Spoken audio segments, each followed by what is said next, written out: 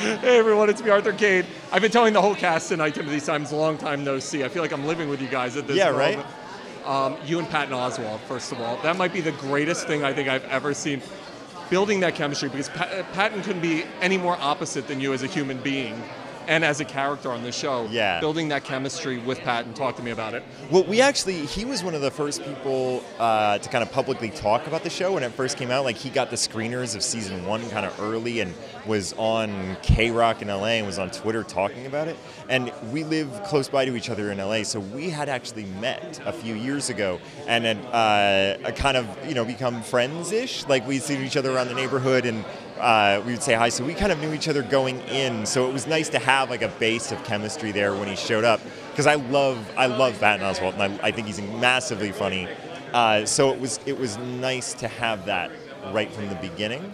Um, but then if you're going to be that close with somebody, uh, if you're going to be in that sort of circumstance with somebody, then it, you know it just helps if uh, it just helps if you get to know each other a little bit first. Having gotten to know you at some level, at least on a red carpet level, and seeing Jonah the character, it feels like you guys couldn't be any more opposite. How do you create Jonah? How did you create Jonah from the onset to, to become the clumsy, funny, out of control mess that he's become? Uh, well, it was it was kind of there. It was there in the script, and then I just I feel like maybe I just tried to make it as creepy as possible.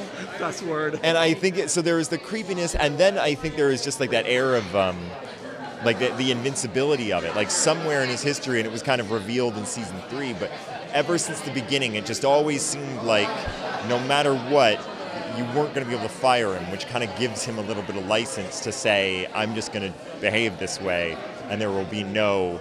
There will be no ill effects for me. Does that make sense? It does. And you, speaking of making sense, you have some exciting projects coming up, I see. Tell me about what's coming up for you outside of Veep. Uh, I am going to be in. I just finished up a movie called uh, Michelle Darnell. It's a Melissa With- McCarthy with movie. Matthew- yeah, Melissa with. Melissa McCarthy and her husband Ben Falcone is directing it. them. And I am playing uh, Peter Dinklage's idiot brother.